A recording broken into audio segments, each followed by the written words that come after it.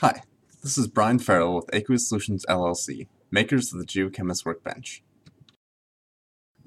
Today I'll show you how to model the transport of a non-reactive tracer using X1T.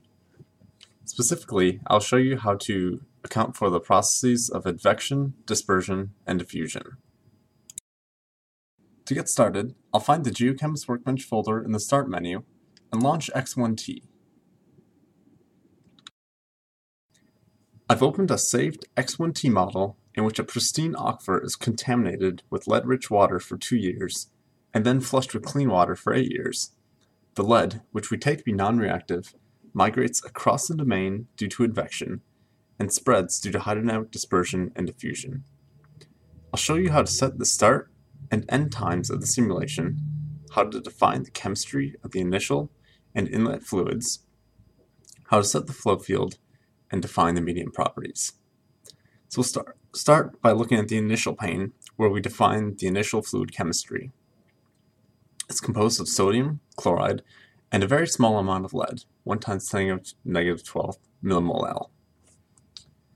Now, from the period uh, of 0 years to 2 years, we'll, this is called the first reaction interval. Our first inlet fluid, inlet fluid 1, which is again composed of sodium chloride, but this time we have a much uh, higher concentration of lead in the fluid. So from 0 to 2 years, uh, this inlet fluid, our contaminant pulse, enters the domain. From the period of uh, 2 years until 10 years, our second inlet fluid, uh, once again, uh, a very dilute fluid, there's uh, very little lead concentration, flushes, flushes the aquifer. So we have an initial pristine aquifer, a contaminant pulse enters the domain for two years, and then from two years until the end of the simulation, 10 years, clean water flushes the aquifer. We set the flow field on the domain pane. Uh, we set the number of nodes in our simulation, and either the uh, the length of our simulation of, of our domain or the uh, grid spacing. Moving to the flow field, we set either a specific discharge at the inlet, uh, which is what we've chosen to do here. Uh, 30 cubic meters per square meter per year enters the domain at the left side. As an alternative, we could set a potential drop or a hydraulic head drop across the domain uh, in order to calculate the hydraulic gradient. And again, this interval 1 and interval 2 is the discharge entering the domain uh, for the first and second reaction intervals. They're the same in this case, but they could be different.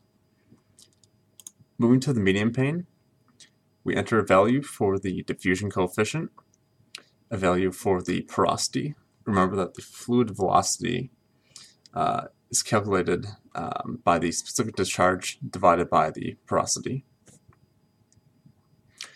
Moving down to this mass transport section, we specify uh, the longitudinal dispersivity. This is a measure of the ability of the aquifer to, to mix fluids.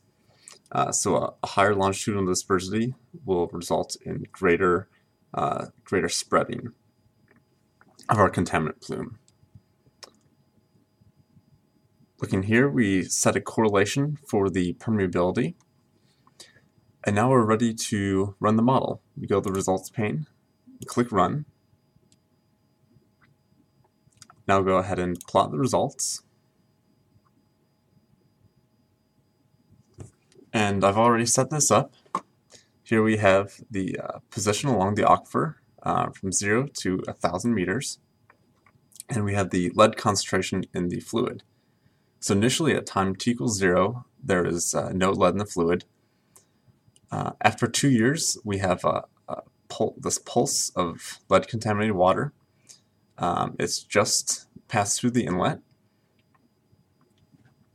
Um, moving ahead to four years, six years, eight years, ten years, this pulse travels across the domain due to advection, and we see what would have been like a square wave uh, becomes more and more uh, rounded due to the effects of uh, dispersion and uh, diffusion to a lesser extent.